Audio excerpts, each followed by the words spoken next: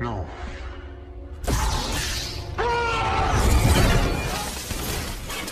You're gonna pay for that, you son of a